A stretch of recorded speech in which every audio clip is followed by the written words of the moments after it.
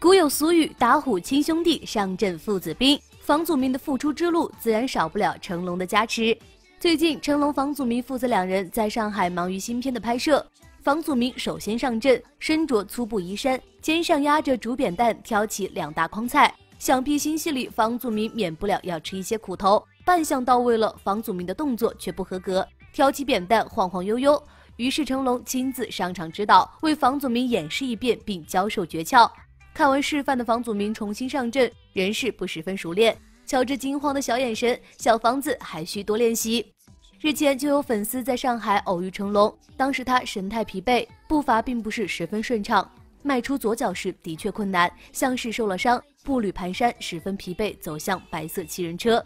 据悉，成龙正在上海拍摄一部新片《我的日记》，他应该是完成拍摄后返回座驾收工。